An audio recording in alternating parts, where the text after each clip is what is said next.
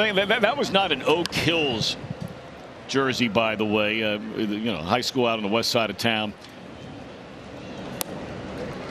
Gausman still on the mound for the Redlegs after striking out the side in the eighth inning. And he has struck out a four straight batters. He gets Munoz. Now he'll face a pinch hitter for Gant. That's Dexter Fowler. What a job done by Gant. Reds leading home run hitter. And got Suarez on an inning ending double play and then retired the side in order. Boy.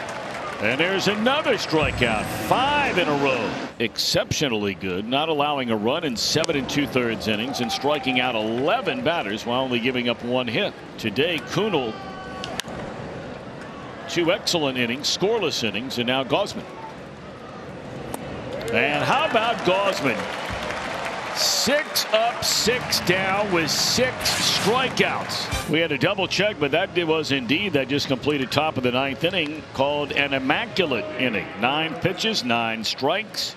Strikes out the side as Gausman. What an outing.